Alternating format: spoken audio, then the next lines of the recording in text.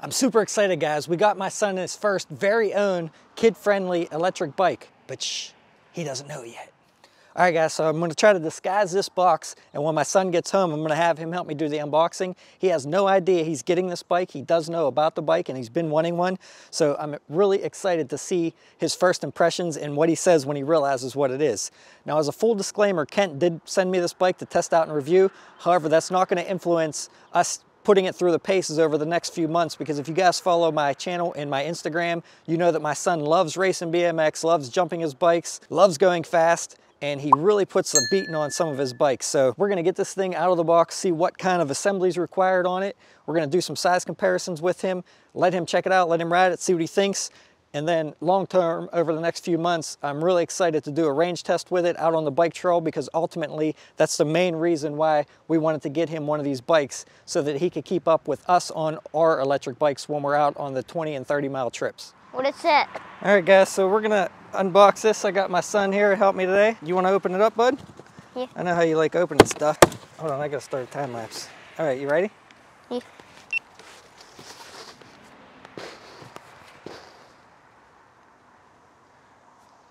What? What is this thing? I don't know, what is it? A V-I-K-E? Did I get a new bike?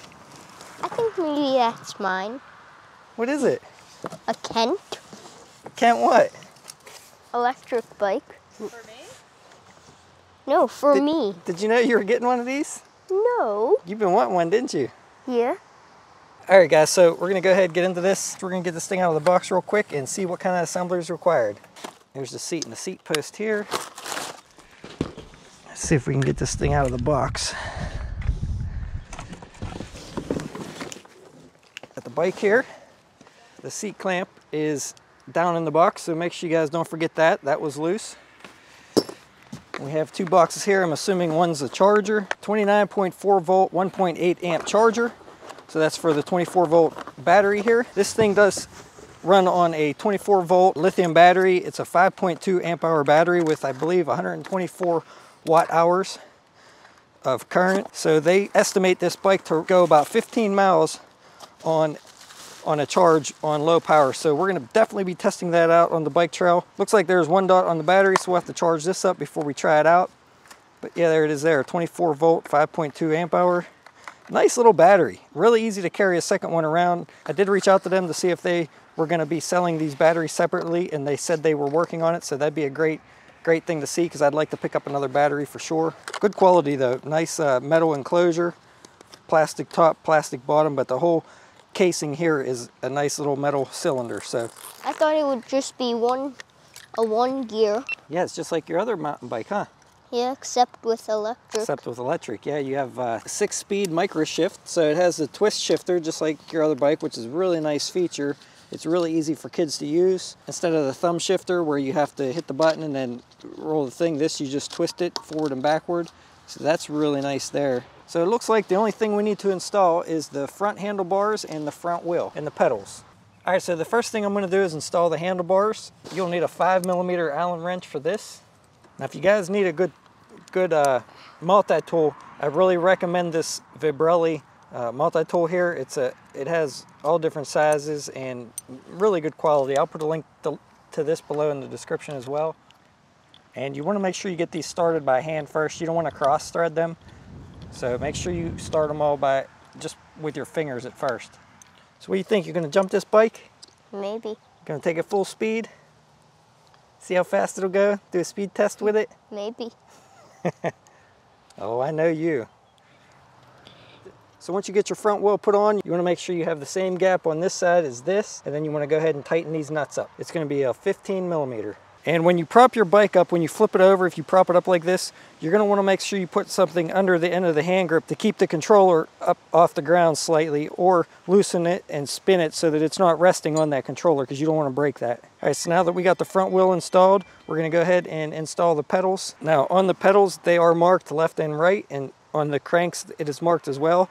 So make sure you install it on the right side. The one on the right side is normal threads and the one on the left side is reverse threads. So just make sure you're aware of that. And then you tighten them up with a 15 millimeter. And the derailleur, I think, might be a little bent, maybe. Uh, it looks pretty good. It looks pretty good. We'll check it out. If it's bent, we'll try to unbend it. Only other thing we have to do is go over all the nuts and bolts, make sure everything's tight, and then just install the seat. All right, so then we just have to connect this front brake cable here, make sure everything's adjusted up good and not rubbing, and it'll almost be ready to ride. Except we gotta wait for the battery to charge up. Yeah. That only needs probably. You could just pedal it for now, try it out. Yeah. So we're gonna put some air in the tires here with the Tacklife portable cordless tire inflator.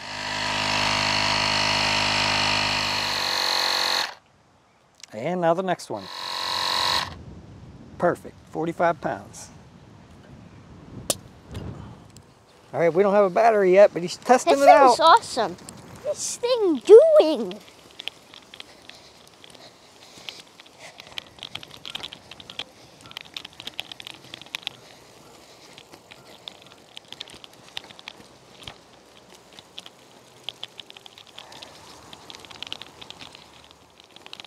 Whoa. This thing's crazy. You like it? Yeah. Does it have a lot of power? Yeah. And I found out a cheat to it. What? If if you don't use any of your power and just like turn the pedals, Yeah. it will still go like you're just using throttle. Oh, so like like fake pedal it, Yeah, pretty much. and it then it gives it good throttle. Yeah. All right, all right. Let's see what that baby got.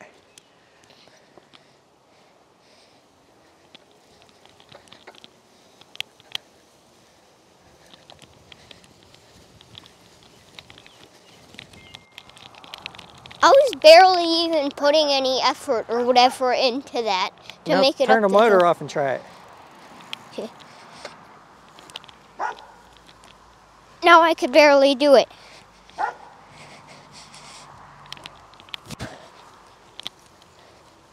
Did you kick the motor on? Now this is the motor on.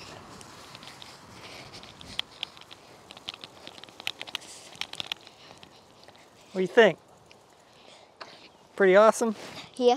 All right. What's your favorite thing about it? Hmm, maybe the power modes, Oh, which one do you like it? either medium or high. Oh, I figured because you're a speed racer. Sometimes slow, if you were just riding around. What do you think? You think you're excited to try it on the bike trail? Yeah. All right. If there was if this was just a regular bike and trying to pedal it, it would be pretty hard, but with this, this is just the motor. I like doing nothing but How's that suspension? good. Want to try it off some jumps? Like off some curbs. All right.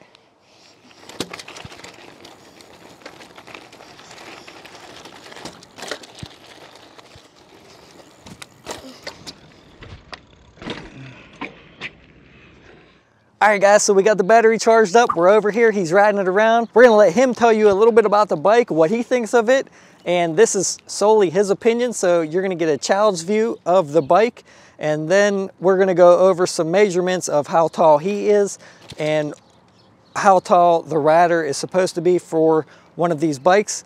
But let's go ahead and get into his opinion. There's five things I like about this bike.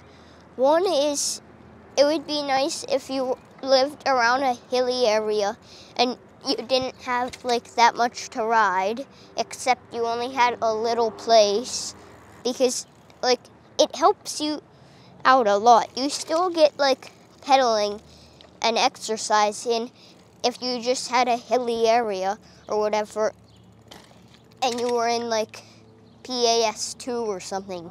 Here's the second thing I like about it the suspension. Like, I feel like the suspension is like more than my Trek Precaliber. And you could go check that video out in the link. My dad put will put that down there. And then I feel like this like if I go off this curb, like the when my front tire went off, I barely felt anything, like just a little bit. So that's the second thing I like about it. Here's the third thing. The PAS. So like whenever you go in low mode, you could kind of feel it kick in. When you kick it up to medium, you just go from a little, and then you know this bike's electric because it like helps you out a bunch. And then high mode, you just blast off with that. Like I'll kick it up to high mode, right down here. This is high mode. You just like, and I could go like at least 20 mile per hour on my Trek Precaliber. And then this thing, whenever you put it into high, I could probably at least get up to maybe around 19 on flat easy. All right, guys, so I have no idea what he was saying because I couldn't hear him, but hopefully he talked about the bike and what he liked about it. I'll see when I edit this, but we're over here now and we're on this little incline here. He's gonna try to pedal up the hill without the motor on and then he's gonna kick it on and see how much that motor actually helps him out. Even though it's only a 180 watt motor, for his size and weight, this thing should power up through that, no problem. So he has the motor off there.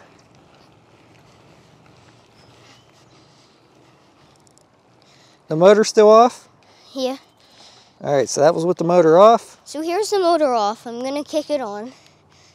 Now it's on low mode. So halfway up this hill, I'll kick it on high mode, or medium then high. And then you could just sit down. Like high mode, you could just sit down and it'll do anything for you up hills. Like it's like so crazy. So I'm gonna see if I could get up this big grass hill.